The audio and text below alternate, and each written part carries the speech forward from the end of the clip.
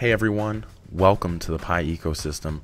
Today we're going to be showing you how to join PYE Nation. Uh, in order to do so, you will need to download a crypto wallet. To set this up, go ahead and install MetaMask from your App Store. Open the App Store and search for MetaMask. And look for the cute fox icon here and click download. Once you get that downloaded, you can go ahead and open up the app and you'll be prompted on the home screen to get started. The bottom side there. Create a new wallet. Review over their terms, make sure you fully understand what you're signing up for, and click I agree. And now go ahead and create a strong password for your wallet for this mobile device. Make sure that it's safe and secure. And create that wallet now here.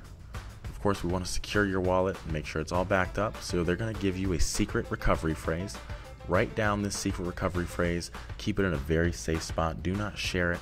Do not hand it out. Do not keep it on a uh, electronic copy, uh, and secure it properly here.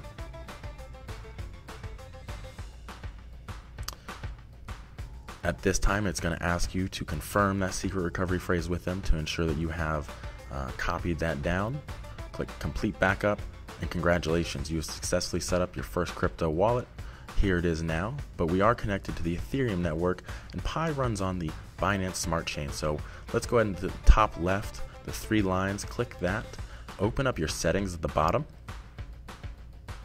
and add a network at the very bottom there, and copy in what you're seeing me paste in the network name, the RPC URL, the chain ID, the symbol, and the block explorer URL.